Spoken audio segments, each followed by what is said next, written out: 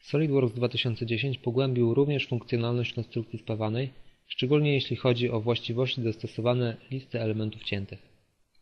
Po kliknięciu prawym klawiszem myszy na dowolną pozycję listy elementów ciętych i wybraniu właściwości, pierwsze co można zauważyć to nowe, intuicyjne i łatwe w użyciu okno dialogowe. Zawiera ono wszystkie dostosowane właściwości. Dodatkowo, po zaznaczeniu, wyświetlane są elementy cięte w oknie graficznym.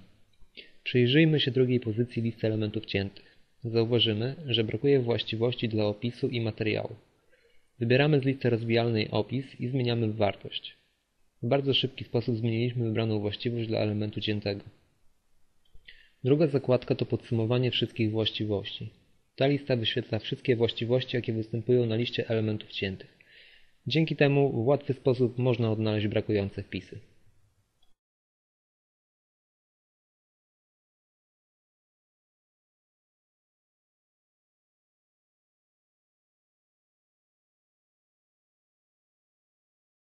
Na ostatniej zakładce znajduje się tabela elementów ciętych. Daje ona możliwość sprawdzenia ostatecznego wyglądu tabeli listy elementów ciętych, która znajdzie się na rysunku. Mimo, że nie można jej edytować, mamy możliwość sprawdzenia, czy wszystkie informacje, które mają być w niej zawarte, są odpowiednio wprowadzone. Kolejną rzeczą, jaką SolidWorks wprowadził we właściwościach list elementów ciętych jest przenoszenie wartości właściwości ze wstawianej części. Jeśli kliknę prawym klawiszem myszy i zaktualizuję listę elementów ciętych, następnie wejdę we właściwości tej listy, to widać, że część wniosła ze sobą informacje w postaci właściwości dostosowanych. Jest to wspaniała funkcjonalność, ponieważ czasami można budować konstrukcję spawaną wykorzystując wcześniej przygotowane pliki części.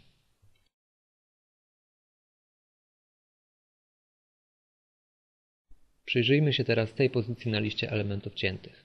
Zawiera dwie płyty. SolidWorks rozpoznaje, że są geometrycznie identyczne i dlatego umieszcza je w jednym folderze. SolidWorks 2010 posiada nową funkcjonalność dodawania różnych materiałów do poszczególnych obiektów bryłowych.